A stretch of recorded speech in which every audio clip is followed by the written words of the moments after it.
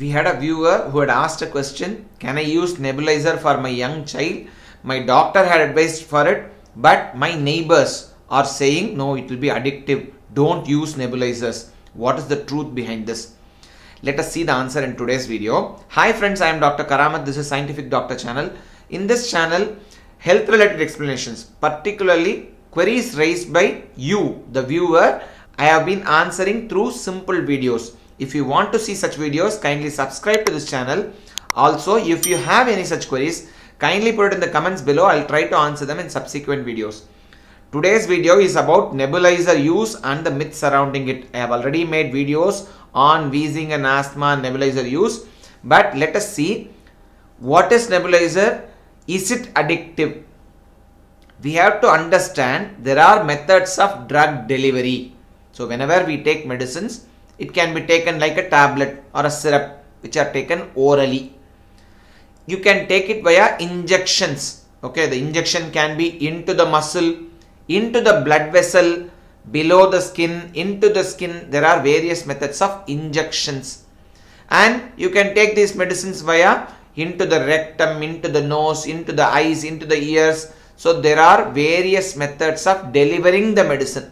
One such method through inhalational route is either via nebulizer or via inhaler.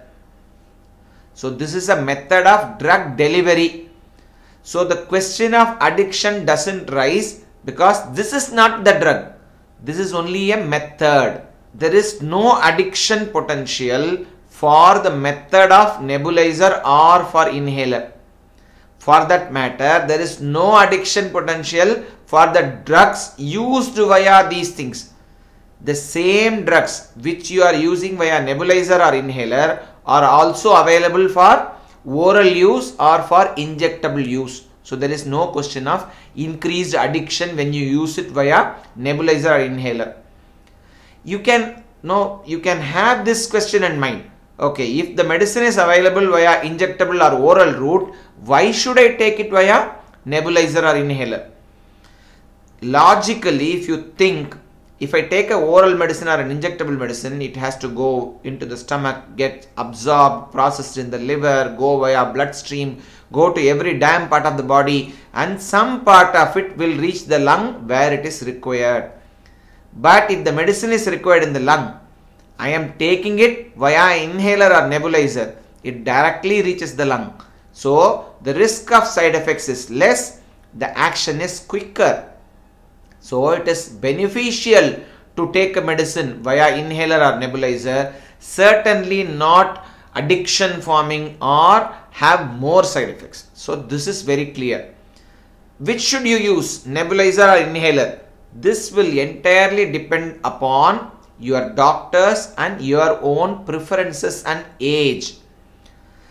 Nebulizer no, has this machine which converts the liquid medicine into a mist which you inhale over a period of 5 to 10 minutes, sometimes over 20 minutes for complete action.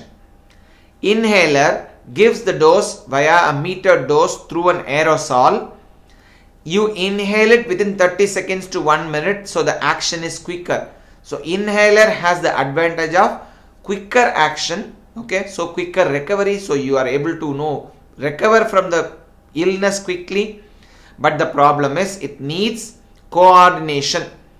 So to circumvent this you have devices like spacers but you still need coordination. In very young babies and also those who are severely ill they are not able to coordinate they are not able to inhale properly nebulizer will be of use because here the user involvement is very less you just need to breathe the medicine will go in.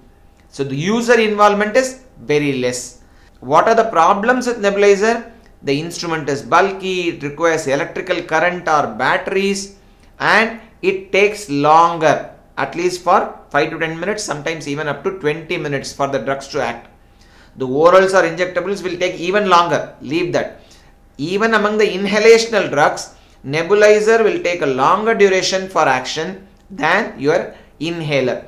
So those people who can use this coordination and use inhalers probably that is the best.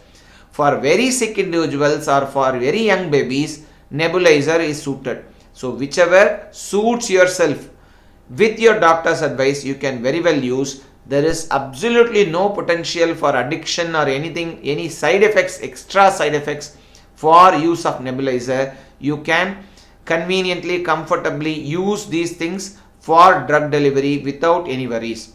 If you found this video useful, kindly share it among your friends and relatives. If you want to see such videos, kindly subscribe to this channel. Till we meet again, bye.